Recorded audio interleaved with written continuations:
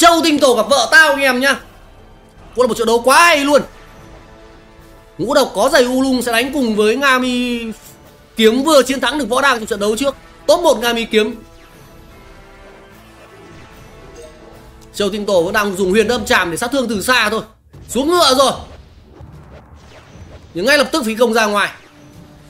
Vợ tao đang chém rất đau anh em ạ. Đây là lý do không ác nào dám đứng ở Nga Mi Kiếm này. Dù cho Châu Tinh Tổ đang muốn có được một vị trí hợp lý để hấp tinh điểm và sô mô hình có thể bộc phát được.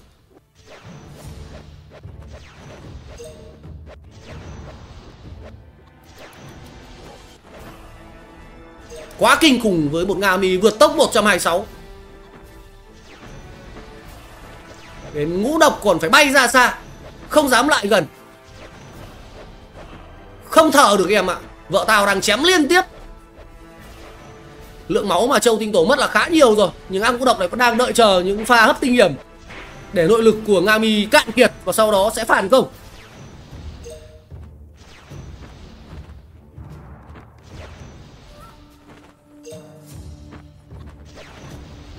Trong những tình huống trước, những đậu trận đấu trước Thì Châu Tinh Tổ luôn luôn dùng khinh công để áp sát đối phương. Nhưng trong trận đấu này thì Châu Tinh Tổ đang dùng khinh công để tránh né. Nhưng pha pressing liên tục đến từ ác của vợ tao.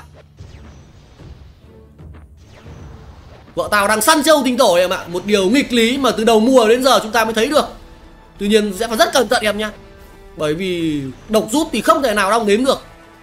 Và cội sốc độc đến từ chiếc giày U Lung. Và chiếc mũ U Lung mắc tốc của châu tinh tổ hoàn toàn có thể đưa ác vợ tao này đi ra ngoài của thi đấu. Rồi ôi trắng máu này mà trắng trắng máu kia anh em. Châu tinh tổ đã phải lên ngựa rồi. Thời gian cần phải búp lại bùa.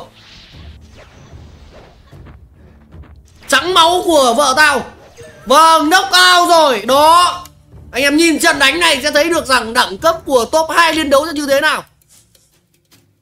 Vợ tao và châu Đình tổ, Kết quả đã ăn bài. Tình huống trắng máu một đổi một. Vợ tao sốc máu lên Và sau đó là tình huống kết liễu.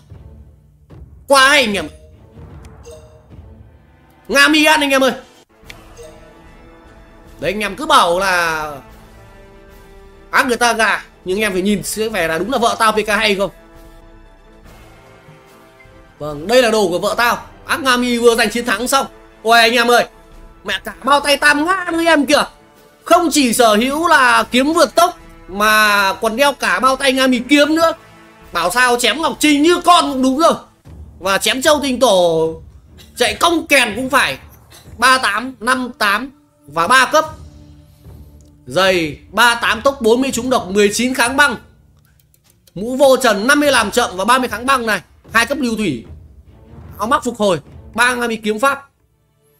Đài định quốc, trúng độc này. Ngựa phiên vũ. Đây anh em ơi, đây mới là bao tay một cấp tam nga thôi.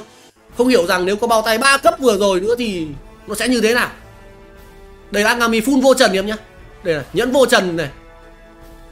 Nhẫn vô trần một cấp này ngọc bội vô trần này mũ vô trần và thêm dây chuyền vô trần em nhé full set vậy là kích toàn bộ được các cái hiệu ứng của chúng ta 78 trúng độc 78 78 với 48 bao nhiêu nhỉ? 78 với gọi là 50 đi. Bằng 128 100 bằng 126 rồi, 126 trúng độc. 126 cộng thêm với 40 nữa. Đấy, 166 trúng độc anh em ơi. Bảo sao có thể trụ trước châu tinh tổ? Đúng thôi.